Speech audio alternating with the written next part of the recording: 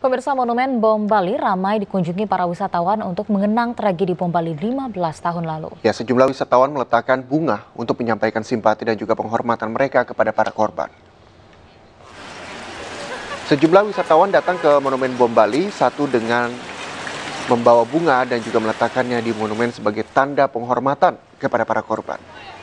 Sejak pagi Monumen Bom Bali telah ramai didatangi oleh wisatawan asing maupun warga setempat yang ingin mengenang tragedi memilukan di kawasan wisata Kuta Bali.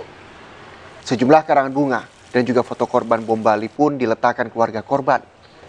Mereka mengutuk aksi teror yang dilakukan Amrozi dan juga kawan-kawannya yang mengakibatkan ratusan orang tewas.